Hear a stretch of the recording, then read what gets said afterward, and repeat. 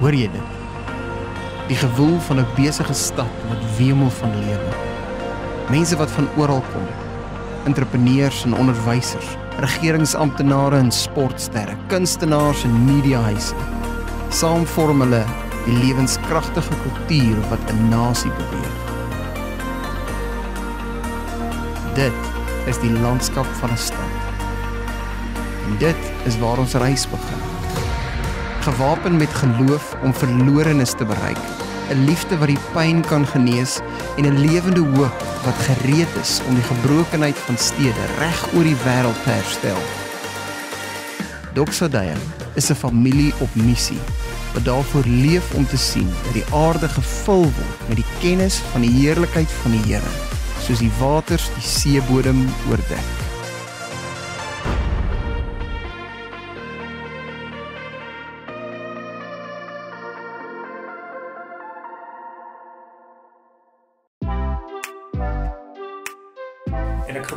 Gebruik die voorbeeld gewoonlik as jy in 'n gesprek met iemand is, veral as jy nog ons redelik, kom ons sê nog so 'n bietjie onvolwasse is, nê, nee, maar jy's on fire vir die Here, maar jy's ook so 'n bietjie onvolwasse.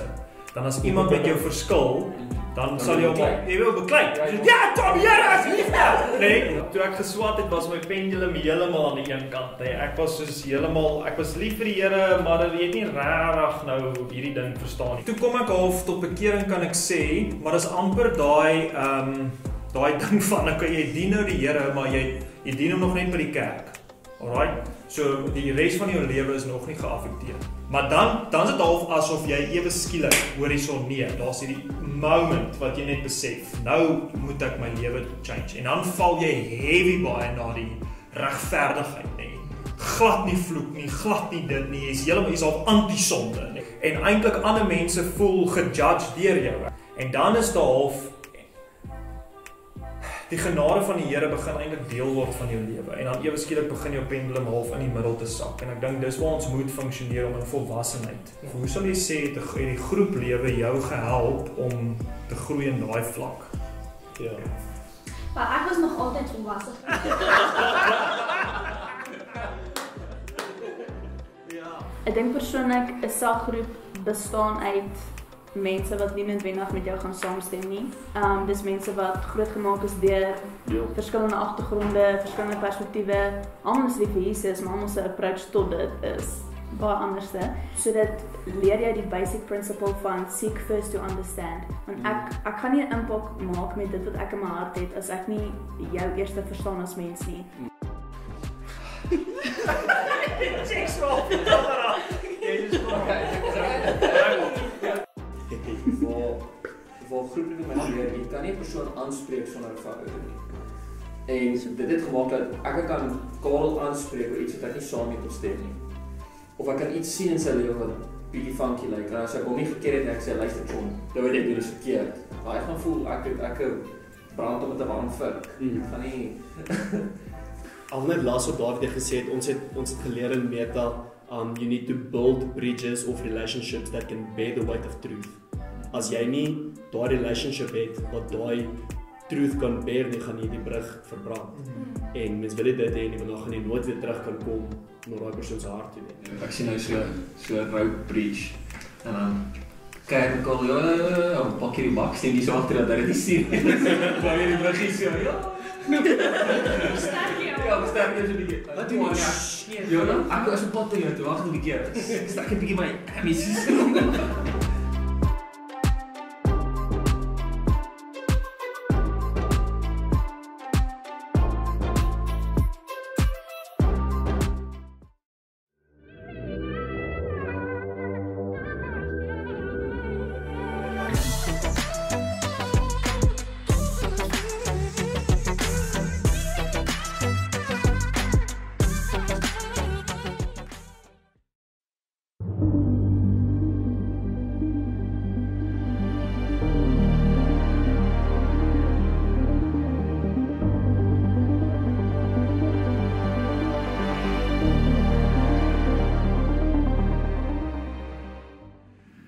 Goeiedag, is my so lekker om saam met jou te kuier hierso by Doxerdale Kameeldrif op ons aanlyn diens.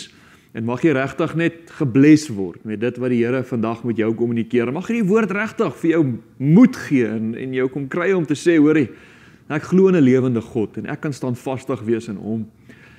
Nou, ons is opgewonde hier by die kerk, ehm um, dat ons uiteindelik in hierdie tyd uh, waar ons nou leef terwyl hierdie video opgeneem was, uh, is ons geskuif na lockdown level 3 toe. En mense, dis goeie nuus.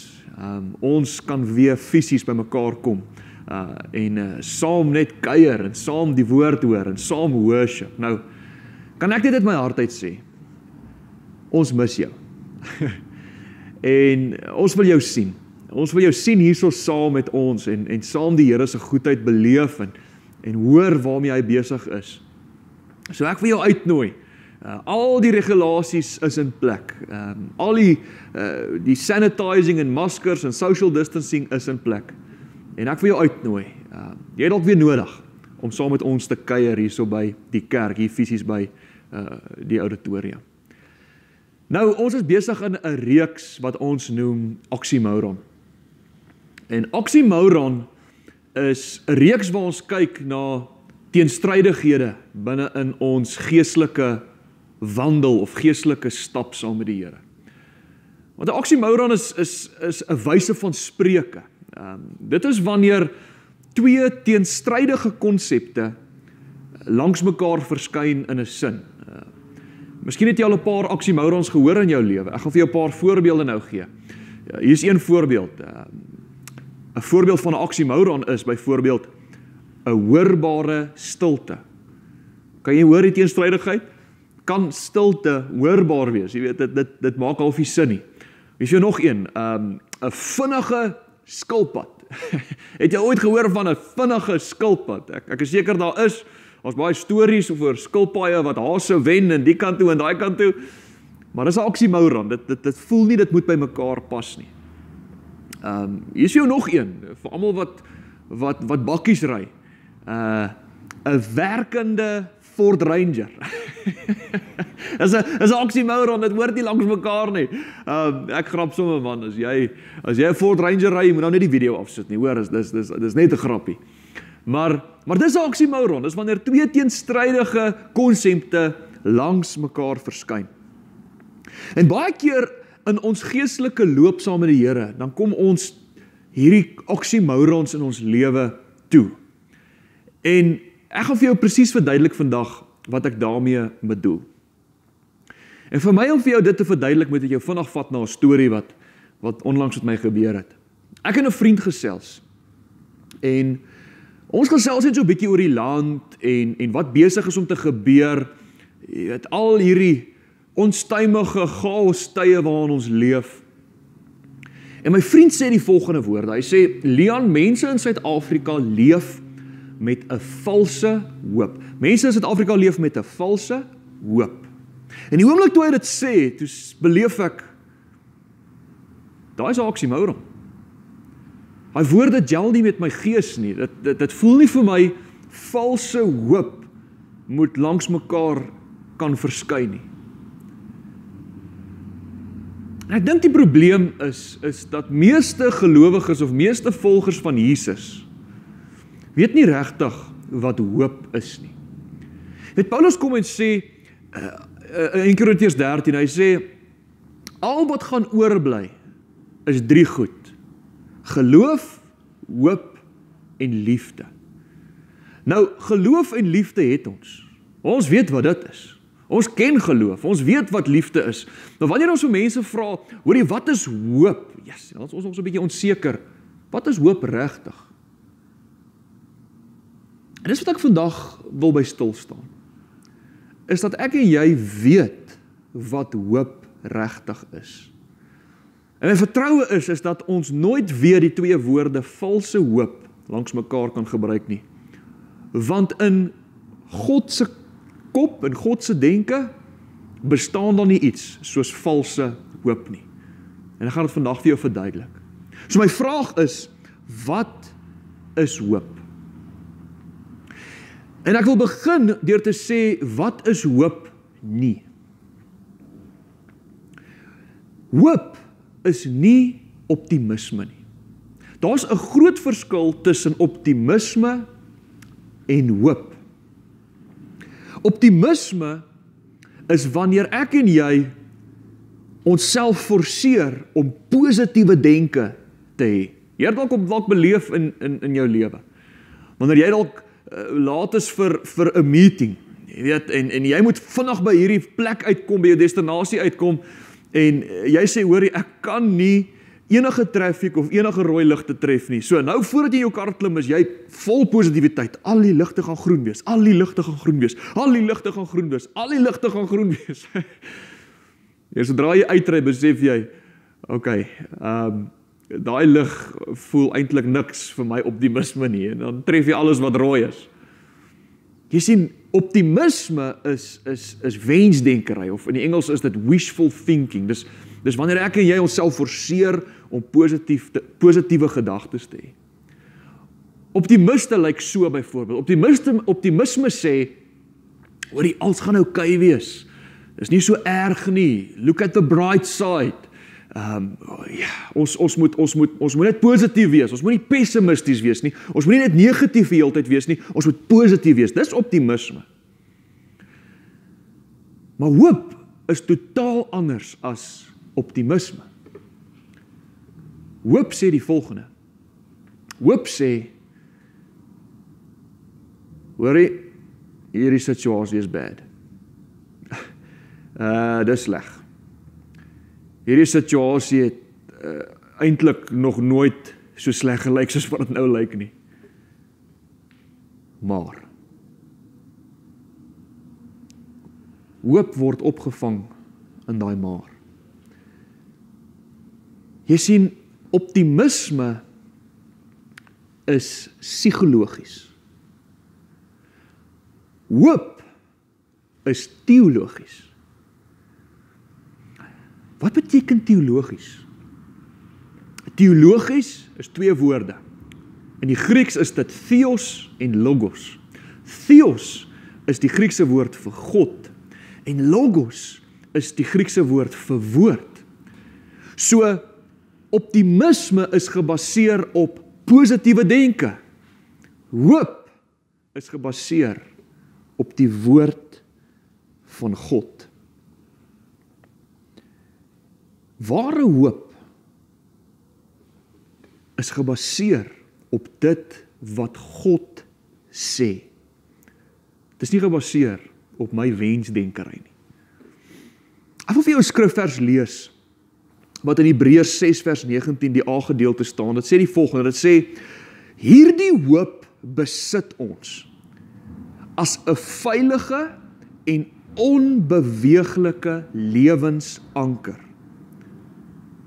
Kan ek daai laaste gedeelte vir jou lees? Dit sê dit is 'n veilige en onbeweeglike lewensanker. Nou wat is 'n anker? 'n Anker is iets wat mense gebruik wat op skepe of op bote is wat hulle in die water gooi wat twee doele dien. Die eerste een is wanneer hulle die anker in die water gooi dan keer dit dat hierdie boot nie rond dryf nie of wegdryf nie. Jy sien dit is so maklik om rond te dryf en weg te dryf in ons lewe wanneer ons nie 'n anker het nie. Wanneer ons iets het wat op, nie onbeweegbaar of vas is nie. Hoe maklik is in jou lewe wat jy nie al rondgedryf het nie. Jy het dalk 'n paar doelwitte in jou lewe gestel en En teen die einde van 'n jaar kom jy besef, hoor in Januarie het ek 'n paar resolutions gemaak en ek het nooit daarbey uitgekom nie. Ek het gedryf, ek het ek het ek het ek het nie by die plek gebly wat ek gesê het ek gaan bly nie.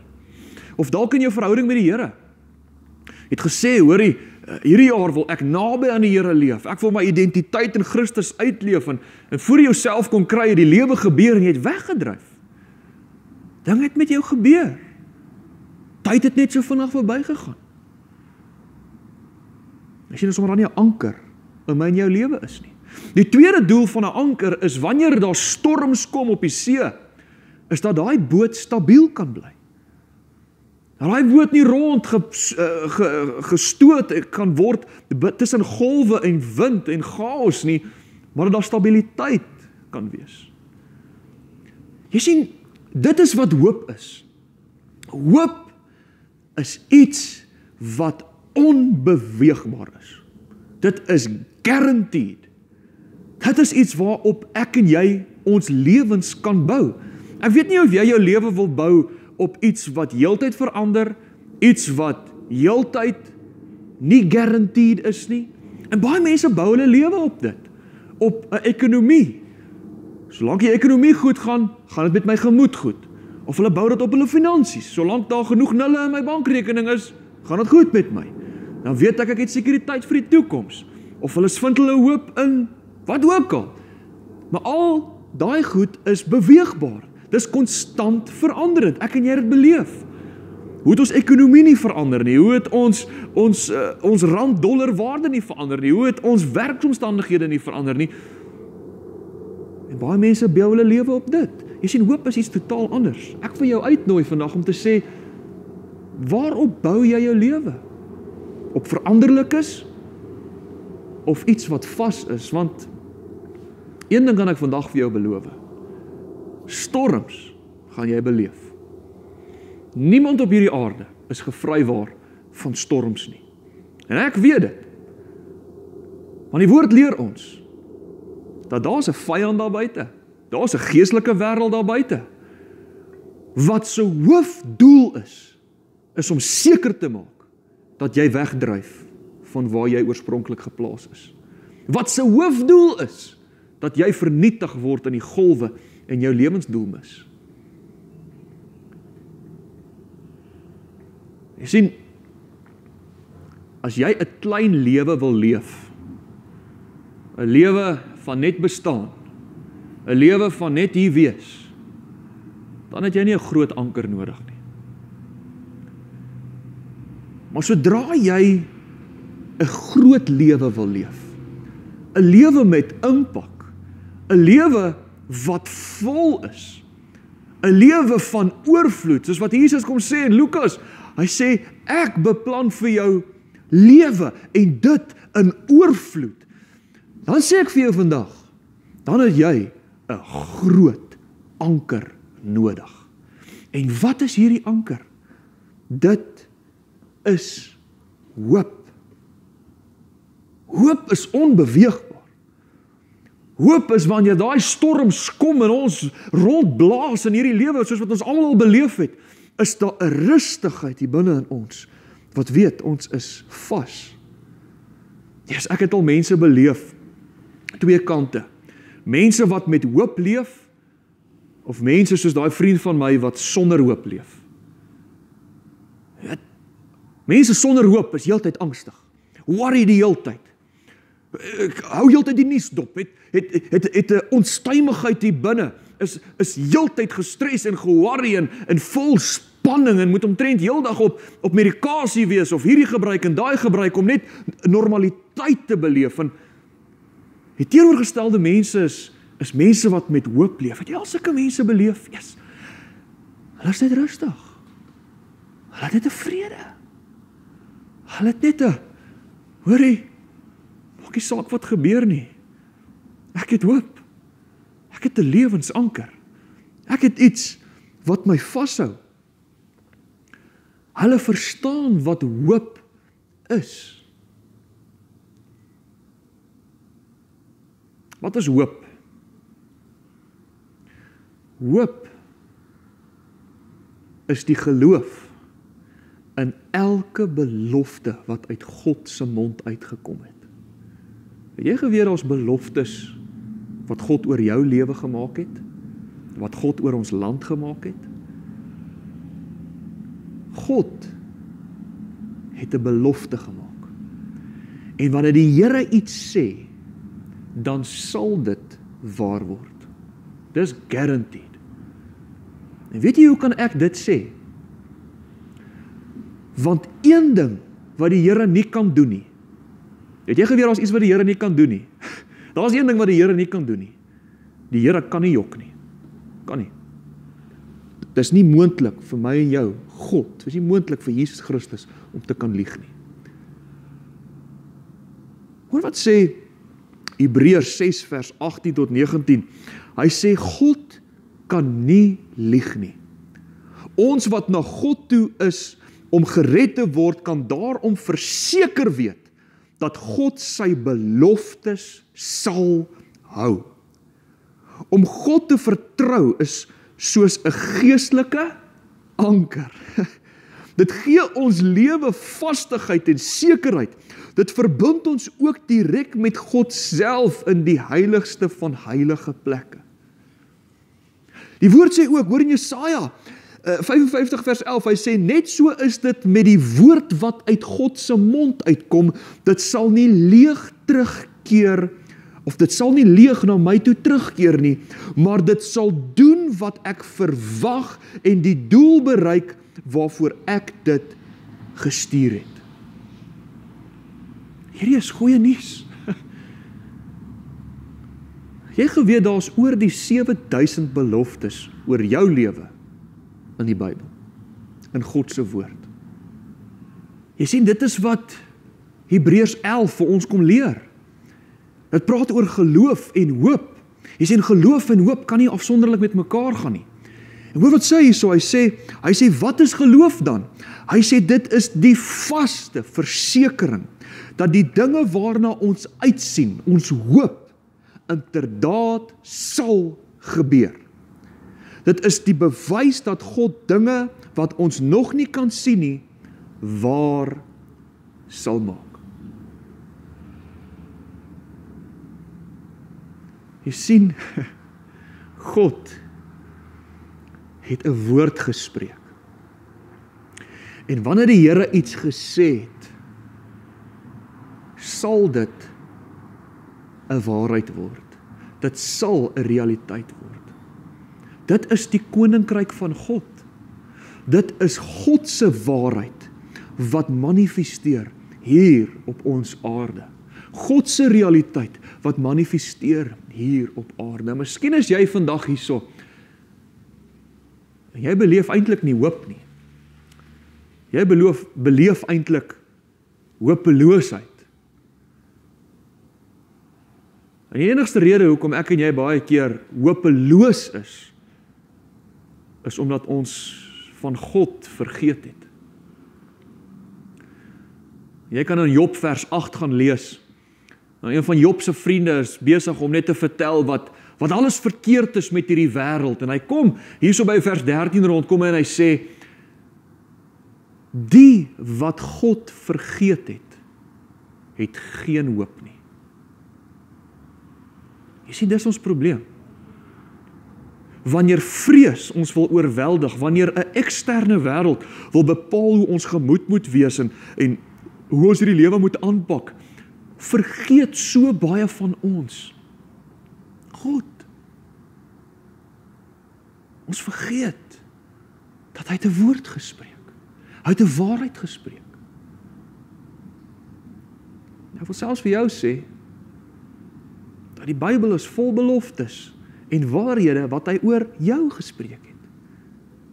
Miskien het jy net vergeet wat die Here vir jou en oor jou gesê het en en dit is wat ek vir 'n oomblik net wil sê, kan ek net 'n paar beloftes vir jou lees dat jy net weer op 'n plek kan kom en net hoor wat sê Jesus Christus oor jou? Wat's die belofte wat hy oor jou het? Hoor hierdie belofte Jesaja 41 vers 10. Ek is by jou. Jy hoef nie bekommerd te wees nie. Ek is jou God. Jy hoef nie bang te wees nie. Ek sal jou help. Ek sal jou sterk maak. Ek sal jou met my krag beskerm. Hierdie is so groot belofte. Hier kom nog 'n belofte. Hy sê in Jeremia 29 vers 11 Hy sê ek weet wat ek vir julle in gedagte het. Ek beplan dat julle goeie dat goeie dinge met julle sal gebeur en nie slegte goed nie. Ek wil hê dat julle hoop vir die toekoms moet hê. Hier's nog 'n belofte vir jou. Hoor wat sê Jesaja 40 vers 31 in die Engels. Hy sê but those who hope in the Lord will renew their strength. They will soar on wings like an eagle. They will run and not grow weary. They will walk and not be faint. Hoor, hierdie is net 3 van die magtom beloftes wat die Here oor jou sê. Jy kan hoop hê. En laat my toe om vir 'n oomblik net gou my vriend se valse hoop aan te spreek. Jy sien, ons kan of na 'n 'n 'n regering kyk of ons kan na die ekonomie kyk om te sê waar die land is of ons kan na God kyk. Here, wat het U oor ons land gesê? Wel ek glo die volgende gesê en hoor wat wat wat Sagaria 8 vers 12 en 13 hy sê ek saai die saad van vrede en voorspoed onder julle. Die wingerde sal swaar dra aan druiwe. Die aarde sal sy opbrengs lewer en die hemel sal dou lewer en ek sal weer 'n keer die oorblyfsel van Juda en Israel die erfgename van hierdie seëninge maak. Juda en Israel het onder die nasie simbole geword van wat dit beteken om vervloek te wees, maar nie langer nie, sê die Here. Nou sal ek julle red en julle is 'n boel en bron van seën maak. Moenie bang of mismoedig wees nie, wees sterk.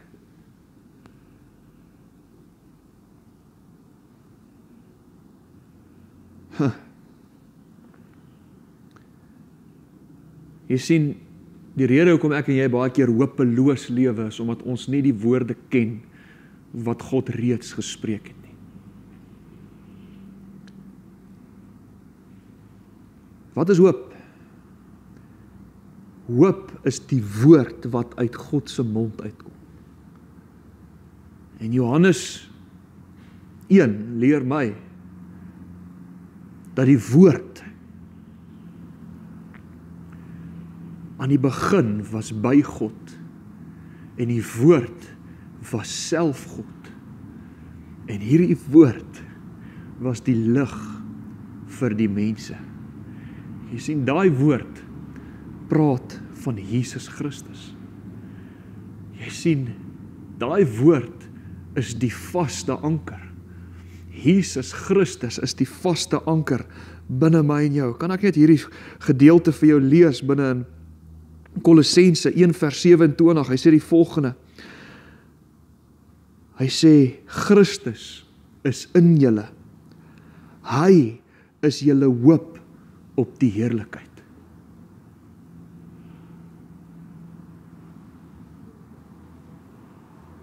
Jy sien daar bestaan nie iets soos valse hoop nie.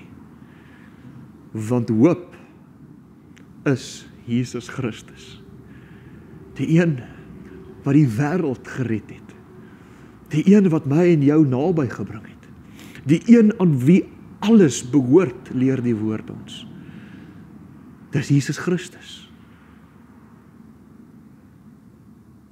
God het 'n belofte gemaak oor hierdie aarde en het 'n belofte gemaak oor jou lewe. En miskien voordat ek en jy weer uit vrees optree, moet ek en jy terugkom by oor wat God gesê het, wat uit sy mond uitgekom het en dit ons vaste lewensanker maak. Ek sê vir jou, dan sal jy 'n lewe leef wat lig is.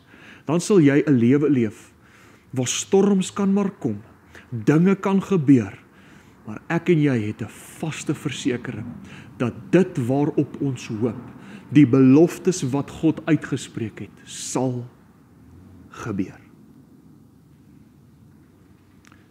Kan ek hierdie diens afsluit en net saam met jou bid? Here, ek weet hier's mense wat na hierdie preek of hierdie boodskap luister en sê ek het hoop verloor. Alles om my lyk of dit chaos is. Alles om my lyk of daar nie hoop is nie. Here Heilige Gees, ek wil bid dat U by hierdie persone gaan stil staan en sê, "Wag, wag. Kom ek al die klappe van jou oë af." Hoop het jou nog nooit verlaat nie. Die woord wat ek oor jou lewe uitgespreek het, het jou nog nooit verlaat nie. Ek is by jou. Ek is Immanuel. Ek sal jou nooit teleurstel nie. Ek sal jou nooit laat gaan nie. Ek is by jou elke oomblik van die dag.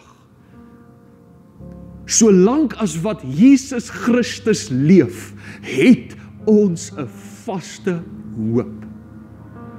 Ons het 'n toekomsprentjie. Ons het 'n verwagting. Here, ek kom in hierdie oomblik en ek bid kom herstel hierdie mense se hoop. Here, daar's mense wat al plannetjies gemaak het om te vlug. Here, selfs erger as dit om hulle eie lewe te neem. Here, maar ek wil kom, Here, kom tref hierdie persone met 'n liefde. Here, en 'n nuwe hoop. Want Here, U het hulle nie gemaak net om te bestaan nie. Here, U het hulle gemaak om 'n lewe in oorvloed te leef. Kom wees hulle anker, Here. Kom tel hulle koppe op. Want Here, ons kan ons kop optel want U leef. U is ons hoop. Here, daarom kan ek met vaste versekering sê, Suid-Afrika brand nie. Suid-Afrika is nie vir die honde gegooi nie. Here, U het 'n woord oor ons uitgespreek en dit is ons anker. Ons sal U beloftes sien 'n realiteit word. Here, genoeg met hierdie oksymorons in ons harte. Daar bestaan nie iets soos valse hoop nie. Daar bestaan net iets soos hoop. Here mag hierdie ons gees optel. Mag hierdie ons koppe optel en sê solank as wat ons Jesus Christus het, het ons alles wat ons nodig het. Ons het U so lief, Here. Ons bid dit in Jesus se groot en almagtige heilige naam. Amen.